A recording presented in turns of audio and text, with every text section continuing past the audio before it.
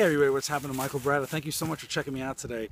Yes, it is an absolutely beautiful, gorgeous day. Look at those clouds. It's days like today where no matter where I look, I just feel inspired. Um, and today what I wanted you to kind of think about is, is script writing. And what I, what I thought about is, you know, oftentimes, and I know it's not always, but oftentimes when you think about movies, somebody writes a script and then there are actors that actually act out the script, right? Or, you know, at least have these speaking parts, uh, but they're not necessarily their words. Somebody else had written them for them.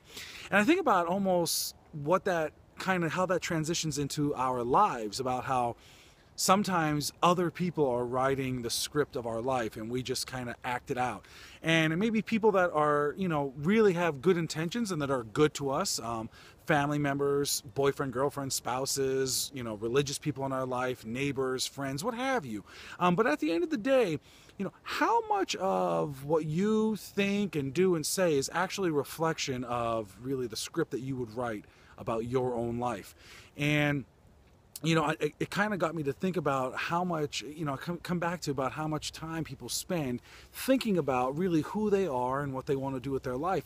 And, you know, really one thing that I could kind of put out there is if you've ever bought a car, how much time and research did you put into buying that car. You know, all the Google searches and all the questions you asked people and the dealerships that you went to and the test drives that you took. And then when it comes time to actually think about your own life and who you want to be and what your gifts are and what your talents are, it's like, I don't have time for that you know and the more that you say i don't have time for that the more then that somebody else is writing another page into your life. That's you essentially saying i'll just i'll, just take my cue from that person or that person and that's how i'll live my life. So you know on a day like today i'm just kind of you got me thinking and i just maybe hopefully it'll get you thinking as well is who is writing the script uh, to your life